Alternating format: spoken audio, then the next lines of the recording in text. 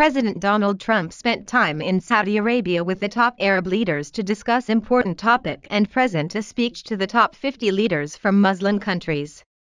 His words left a stern and powerful message that provided them with direct orders to do the most intelligent thing they could ever do.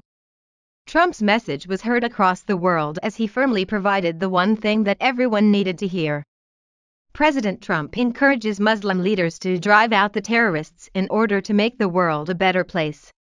It doesn't matter if you love or hate Donald Trump because this message should be clear to everyone in every country. When you have bad people who infect and destroy the reputation of your country or religion, then you need to stand up for yourselves and drive the bad away from the good. Do you think Muslim people would have such a horrible reputation if there wasn't so many terrorists spawning from within their communities?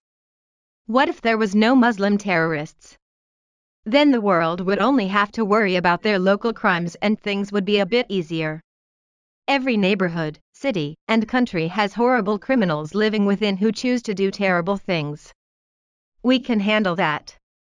What no country wants to deal with is people from other countries invading and terrorizing because they don't have anything better to do.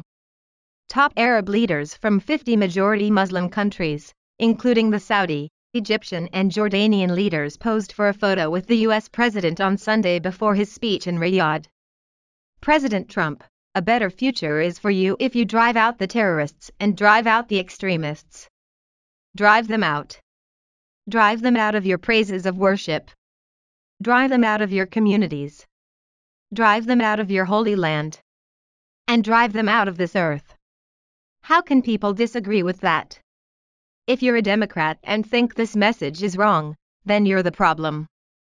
This is exactly what every good person on the planet should do when they find a person whose only goal is to cause harm and havoc. Terrorists are suicidal.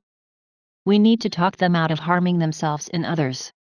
There's no reason to blow yourself up when you can live a prosperous life doing something you love.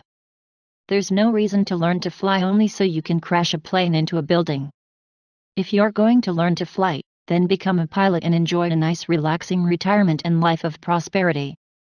If you're going to work with explosives, then don't blow up buildings with an improvised vest that implodes your body into tiny particles as it destroys a building with innocent people.